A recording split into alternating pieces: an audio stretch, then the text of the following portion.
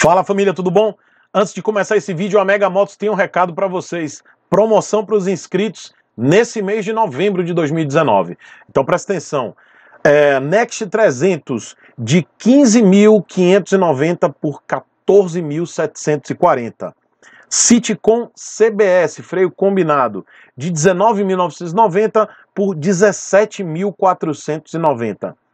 Citicom ABS, de 21.990 por 19.990. Legal que há dois meses atrás o preço estava, a ABS estava 22 mil e a CBS estava 19.990. Legal, baixou mais o preço ainda. É, e a Shinerai, de, a Jet, de 5.990 por 5.790. Então, galera, quem é inscrito no canal, manda um zap, tá aqui na descrição também tem. Manda um zap pessoal, um zap pro pessoal da Mega Motos. Fala que é inscrito, tá valendo a promoção. É, à vista tem o desconto. Se comprar também, dividido no cartão financiado, vai entrar os juros, tá? Do, do cartão ou do financiamento, mas é segue esse preço aqui, tá, pessoal? Esse preço de promoção. Então corre, você que é do Brasil inteiro, os caras da Mega Motos também manda para o Brasil todo. Manda o zap para os caras. Eles têm todas as motos da linha Dafra, tá? Shinerai, Bull e CF Moto, tá? Agora essas aqui é que estão em promoção, aproveita. Eu tenho o Citicom, garanto para vocês, excelente scooter. E é isso aí. Segue o vídeo. Fala família, tudo bom? Finalmente, finalmente eu tô aqui com meu querido Lucas. Um beijo, Lucas. Muito obrigado. Vocês assistiram o Lucas nesse vídeo aqui e ele falando, né, fazendo o review. É muito bom, porque ele já teve experiência com uma Next 250 e hoje finalmente eu tô com essa Next 300 depois de muito tempo, vocês me pedindo, eu consegui. E galera, essa aqui tem 108 quilômetros. Foi pego, ele pegou na sexta-feira e eu tô praticamente aqui estreando junto com ele essa moto aqui, essa linda Next. Então vou dar um overview aqui para vocês, vocês olharem. Lindíssima. Essa moto é da Sim, tá? Esse vermelho muito bonito. E vou rodar. Vamos fazer agora esse test ride. Vamos testar essa maravilha. Lucas, vou aqui e volto, viu? Pessoal, é... vamos fazer aqui a leitura do painel. Eu já já vou dizer algumas coisas que eu já tinha falado lá no, no review da questão do conforto. A minha primeira sensação aqui, Lucas, é que realmente esse guidão aqui mais alto dá um conforto diferente, viu? Bom, vamos lá. Primeira saída, ela está um pouquinho acelerada. Lembrando que essa moto tem 108 quilômetros. Novíssima, ainda tá com plástico aqui, né?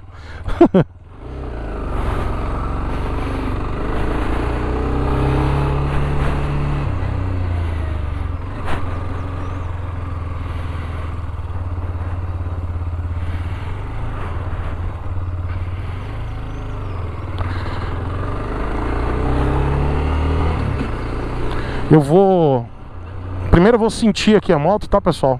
Depois eu vou passar para vocês as minhas impressões. Então deixa primeiro eu rodar com ela, ter as minhas percepções e já já eu converso com vocês.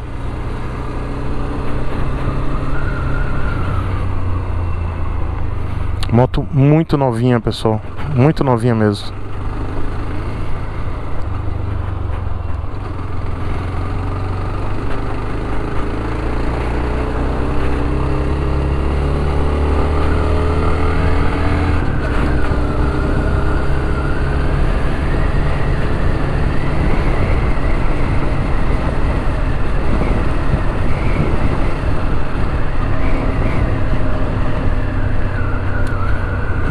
Botar o freio motor aqui em primeira marcha só para sentir.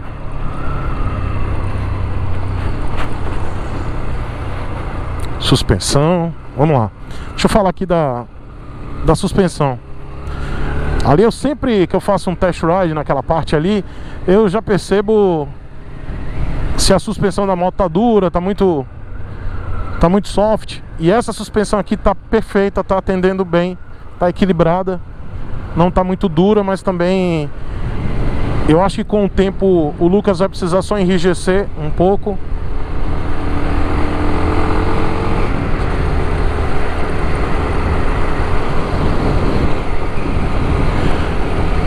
Bom, vamos lá. Posição de pilotagem, a primeira coisa que eu percebi dessa moto que me agradou muito. Posição de pilotagem esportiva, galera. Bem esportiva mesmo. A moto ela te deixa mais encurvado, uma posição mais avançada e bem esportiva. As pedaleiras recuadas na pegada da da Phaser 250, da nova Phaser 250 e na pegada da Apache RTR 200. Então, como eu já deduzia, essa moto ela tem uma pegada esportiva. O guidão, ele é mais alto, compensa essa ela não fica tão baixa assim então compensa um pouco e dá, um, dá mais conforto.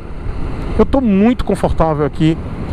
É, o banco bipartido ele acaba sendo mais baixo o banco do piloto e acaba me dando aí um conforto na lombar. Tá bem legal porque eu sinto que se eu, se eu me afastar um pouco mais assim eu consigo apoiar a minha lombar na parte do do banco do carona então eu gostei bem do, do, do conforto do banco. Muito gostosa a moto, muito gostosa mesmo. Outra coisa, o grip das pernas. O tanque ele é bem fininho, ele não é muito não é muito largo e não incomoda. Ela é bem na pegada esportiva, sabe? É uma moto pra quem tá afim de, de ter uma sensação de esportividade numa moto street, a Next é excelente, a sensação muito gostosa. Acabamento também, achei muito legal o acabamento aqui do, do burrinho de freio. Fosco, acabamento fosco. Painel. Eu achava que ele podia ser um pouquinho mais. Eu sempre faço essa reclamação em algumas motos. Eu acho ele muito para baixo, então você tem que baixar o rosto. Ele podia ser um pouco mais elevado, assim, um pouco mais inclinado. Mas a leitura é boa. Eu não vou, galera, não vou dar top speed, nada disso, porque a moto é uma moto em amaciamento. Então eu não vou passar dos, dos 5 mil giros, ok? Não vou passar, não vou passar de 80 km por hora. Isso aqui é uma moto em amaciamento, então peço que vocês compreendam a, a situação, tá? Em outro momento eu posso fazer um outro vídeo com o Lucas, ele me cedendo de novo a, a moto e eu fazendo aí top speed, mostrando pra vocês aí. Mas uma moto dessa nova eu não posso ir amaciando ainda, eu não posso fazer isso. Então eu tô tendo uma legibilidade muito boa aqui do, do painel. RPM, tô em quinta marcha. Ah, Lembrando, câmbio de seis marchas. Deixa eu passar a sexta aqui. Sexta marcha, maravilha.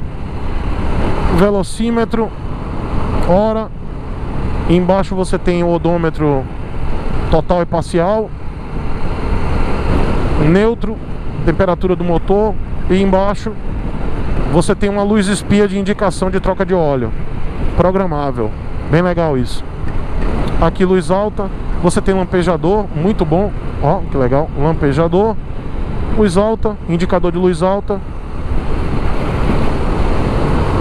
E piscas, né? Luz espia do pisca. Muito confortável. Outra coisa que eu gostei muito dessa moto, os espelhos retrovisores. Eles são mais altos, eles têm aquele grau, né, aquela curvatura que facilita a visualização e eles são mais altos, então você não precisa olhar tanto para baixo assim. E não é muito esportivo isso, tá? Mas ele é útil para o meio urbano e é isso que importa. Essa moto aqui é uma moto de uso urbano. Mas dá para viajar? Claro que dá para viajar. Essa mocinha aqui tem 27 cavalos. Arrefecimento líquido. E vamos a uma ficha técnica rápida. Moto com 27 cavalos a 9.250 RPM, 2,65 quilos de torque a 6.500 RPM, muito bom, muito bom. 165 kg o peso, é, peso seco, não é uma moto leve. Mas também não é uma moto monstruosamente pesada, a exemplo da Inazuma, que é uma moto bem pesada. Tanque de 14 litros. A Dafra diz que ela faz um valor lá que eu não vou dizer que é muito alto. Eu não acredito. Ela, ela, foi anunciado que ela faz 40 por litro, até 40 por litro, mas acho muito difícil, tá pessoal? Essa moto deve fazer aí, dependendo da tocada, uma tocada muito, muito, muito boa, deve fazer aí até 30 km por litro. Uma tocada muito boa. Posso estar enganado, quem tem Next coloca aqui o comentário. Se já conseguiu passar dos 30 km por litro. Moto com injeção eletrônica. Freio combinado. E aí vamos lá. Freio combinado, como é que funciona? Você freia, fazendo a frenagem no freio traseiro, ele vai aplicar 70% da frenagem na roda traseira e 30%, entre 25% e 30%, tá pessoal? Na roda dianteira. Então a proporção vai de 70% a 75% e aplicado na roda traseira e o restante, né, entre 25 e 30% aplicado na roda dianteira. Vou fazer aqui a frenagem, ó, bem arisco, bem, bem arisco mesmo. E aí como essa moto ela vem com aeroquipe de série, que é aquela manta metálica que fica em torno do flexível de freio, o freio dessa moto é muito arisco, muito, muito arisco. Tem que tomar cuidado, porque se você fizer uma pisar legal, como eu pisei agora, ela pode até travar a roda traseira. Isso é bom, tá? Por um lado, não travar a roda traseira, mas é bom esse aeroquipe porque ele dá uma eficiência maior na frenagem. O freio não fica borrachudo não fica mesmo. E aí ele fica arisco, então você tem que tomar cuidado para não pisar, apertar de vez aqui ou pisar de vez para o freio traseiro e a moto não derrapar, porque derrapa, tá? Freio CBS é diferente de freio ABS, ele derrapa mesmo. Outra coisa, ajuste aqui ó, na, na manete de freio tem ajustes, acho que são quatro ajustes. É, embreagem a cabo muito macia a embreagem, aceleração muito sensível, gostei. Torque muito, muito bom. 2,65 kg força metro a 6.000 RPM, 6.500 RPM. Galera, essa moto você viaja tranquilo.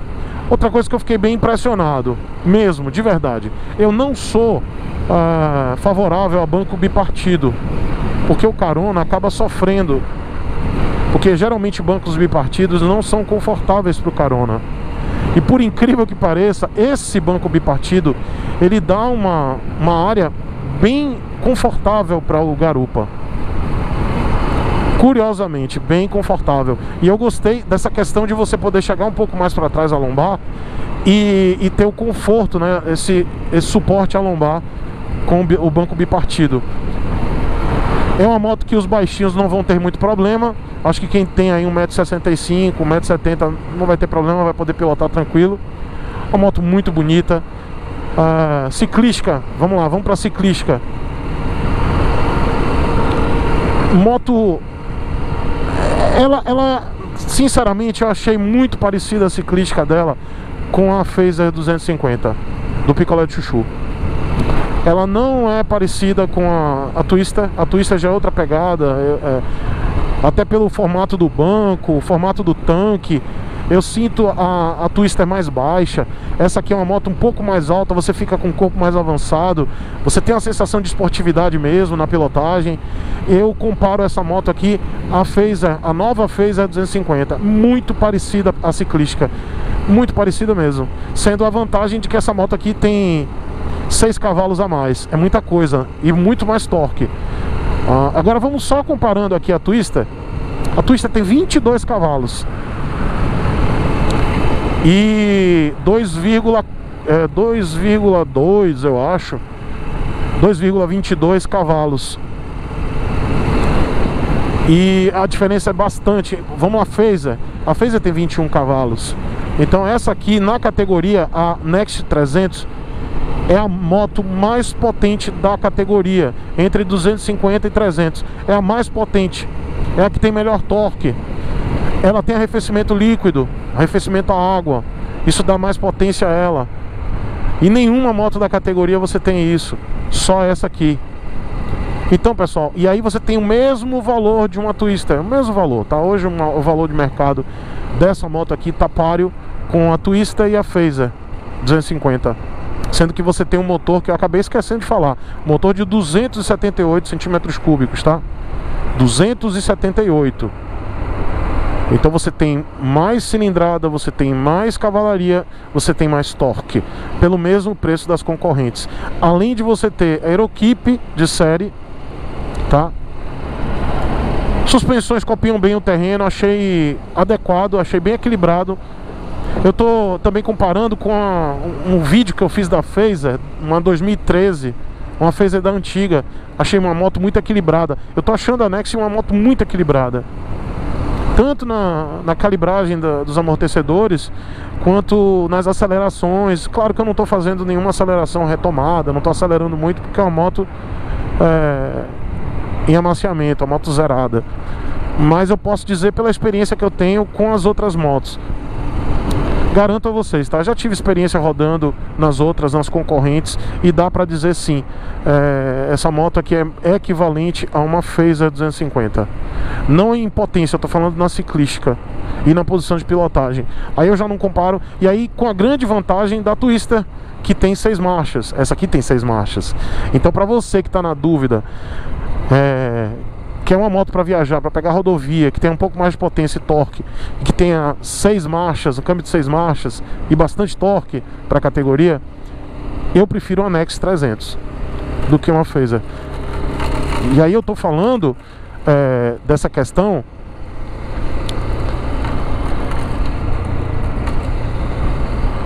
Então, pessoal, eu, se você está na dúvida entre a, a Phaser 250 a Twister. Né? Se você quer uma Phaser 250, mas está em dúvida porque você quer pegar rodovia, você quer uma moto com mais potência, com mais torque, sinceramente vai de Next 300. Ela é uma moto que vai entregar tudo isso, tendo mais cavalaria, mais torque, mais potência, é, tendo a mesma posição de pilotagem, o mesmo conforto, a mesma ciclística, pelo mesmo preço. Então recomendo demais essa moto aqui. É, eu só deixaria a suspensão um pouco mais dura. Ela tá meio soft, tá equilibrada, mas na minha pilotagem eu, prefiro uma, uma, suspensão um pouco mais rígida. Ela tá muito adequada para um meio urbano, tá, tá bem gostosa mesmo de pilotar. Passagem das marchas, mesmo a moto não, não ainda amaciando, né, não fez a primeira troca, o câmbio firme, passagens é, bem bem macias, né? Bem seguras também. O câmbio não não tive dificuldade para encaixar, os engates bem precisos. Olha o torque embaixo, ó. Tô a 25 km por hora. Torque bem legal.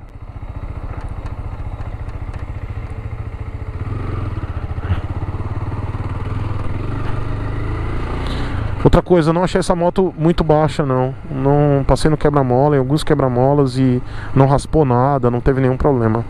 Então, aprovadíssima essa moto, muito aprovada, estou muito satisfeito. Parabéns a Dafra.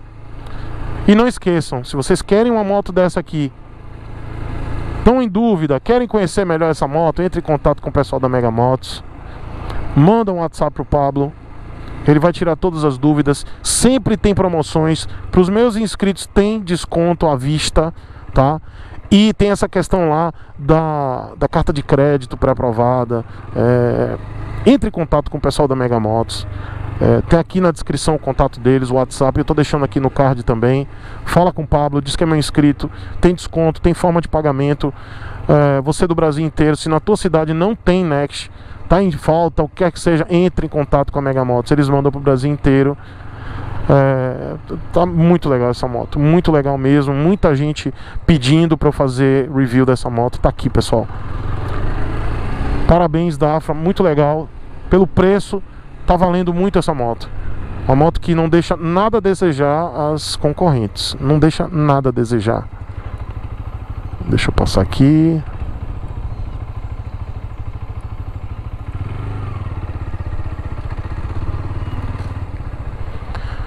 Maravilha, meu querido. Poxa. Eu fui devagarzinho para não, não passar do, dos 5.000 RPM. Ó, ó, galera, encaixou perfeito, neutro, sem problema algum. Zero. Os engates super precisos. Maravilha, Lucas, maravilha. E o que eu percebi é que ela. É, eu não passei dos 5 mil giros, nem dos 80, porque ela está amaciando ainda.